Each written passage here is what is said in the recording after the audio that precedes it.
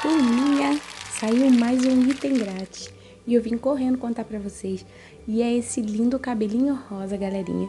Eu achei, gente, muito lindo. E o mais legal, gente, é muito fácil de conseguir pegar.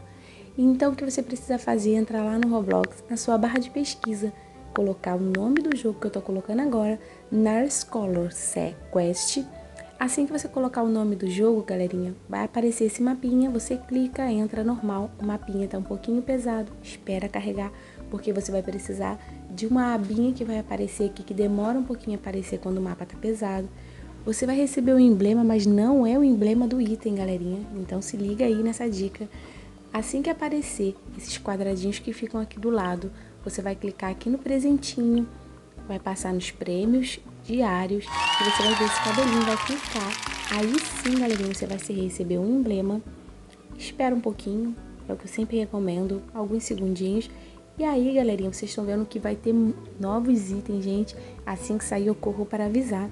E, galerinha, agora é só você sair para conferir se chegou tudo certinho lá no seu inventário. Você já pode sair daqui do mapa e ir direto para o seu personalizar, acessório, corpo, cabelo, e vai estar tá lá, galerinha, o seu novo cabelo rosa. Gente, dos cabelos rosas de item grátis, sem dúvida, esse aqui foi o mais bonito que eu já vi. Ele encaixa muito bem, ele modela o rosto, fica muito bonito. Então, parabéns aí pro jogo que fez um cabelo arrasante. Se tivesse feito um cabelo desse pretinho, de repente eu usaria. Muito legal, gente. Eu amei esse cabelo. Eu espero que vocês também tenham gostado. O vídeo foi esse.